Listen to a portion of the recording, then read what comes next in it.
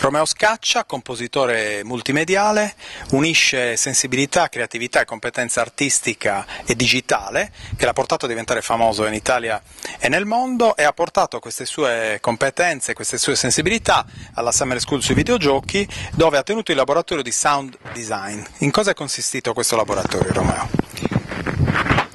Ma eh, ho cercato di ricoprire quel campo che un pochino mancava in questo summer school, che era la parte appunto dedicata all'audio.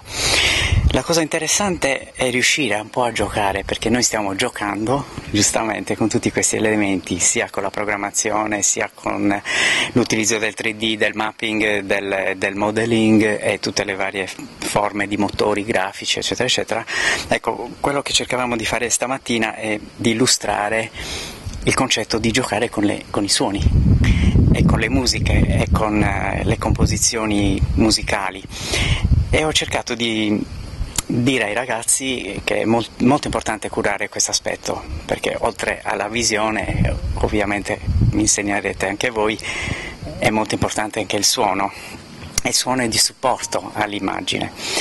E, mi, ci siamo divertiti perché abbiamo scoperto eh, come funziona un'orchestrazione, come funziona eh, melodizzare un'armonia o avere un'armonia e trovare una melodia da, come dire, arrangiare all'interno di un contesto, che il contesto può essere un qualsiasi prodotto o un qualsiasi progetto multimediale. Mi piace definirmi così multimediale perché mi piace abbracciare tutti i generi possibili, non solo il cinema, non solo il video, non solo il concertismo da un certo punto di vista, ma mi piace proprio giocare con tutti gli elementi possibili, quindi il gioco che ritorna anche qui to play.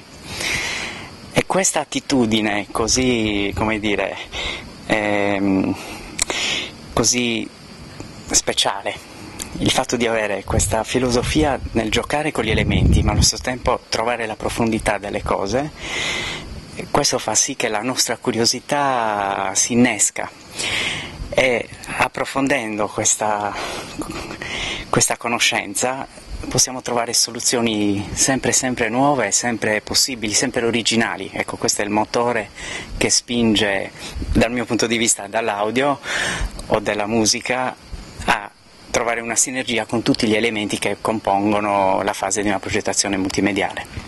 E tu stamattina hai proposto una riflessione molto interessante che mi sono segnato eh, qui, che è questa. Il videogioco dal punto di vista musicale è l'opera più complessa da gestire. Puoi spiegarcelo in pochi minuti? Sì, se ci pensiamo bene, direi che è forse veramente il più complesso perché di solito eh, su una, um, un lavoro lineare, come può essere un film, eh, l'approccio a un documentario o a un videoclip, abbiamo una progressione temporale già ben definita, da una sorta di timeline dove chi assiste alla, alla, visione sa già che c'è un tempo di inizio e di una fine.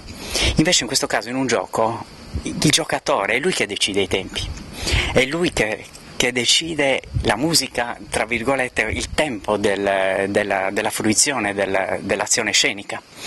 E questo è, è, difficile da progettare perché devi dargli un, un ampio spazio, un ampio spazio di margine, perché devi prevedere tra virgolette, indirizzarlo, ma allo stesso tempo dargli quella libertà per godere la, la, la piacevolezza di giocare e quindi gli spazi sono molto più ampi perché devi dargli spazio per manovrare e devi progettare in maniera non più lineare ma a 360 gradi, un po' l'abbiamo visto oggi anche col virtual reality, l'abbiamo visto anche con eh, la visione della PlayStation, oggi abbiamo giocato appunto con la VR e lì ad esempio l'audio è a 360 gradi, nel senso che ad esempio se c'è un oggetto che arriva verso di te e tu giri la testa, il suono viene assolutamente segue, segue, il percorso della testa.